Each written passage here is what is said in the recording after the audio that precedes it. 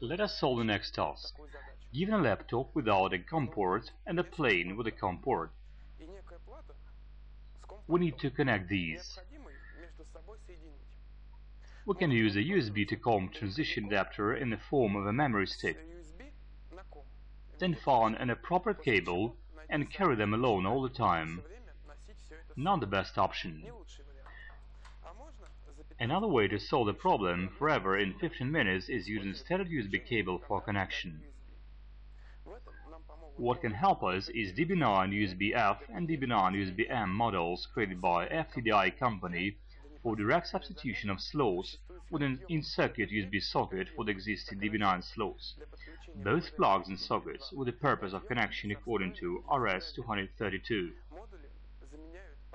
The model substitutes slot-to-slot DB9 plugs and sockets for connection according to RS-232 through a mini USB-B slot.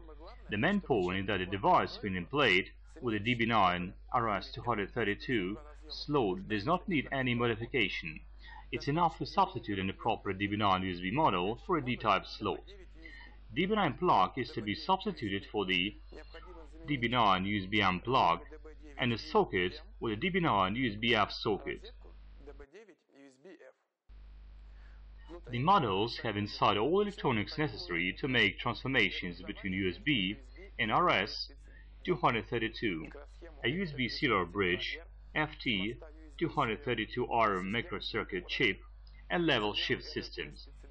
RS-232 signals including modem service signals, can be transmitted at a speed of 1 megabaud. DB9 USB needs USB device driver is available at www.ftdichip.com that enable the system to see DB9 USB at the virtual COM port.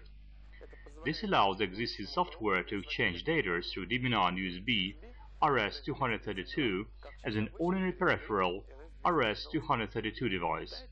The model is powered from the USB port and can be functioned at temperatures from minus 40 degrees Celsius to plus 85 degrees Celsius. Now you can easily substitute USB for a COM port your old device, thus providing it with a new life and enabling connection to a laptop.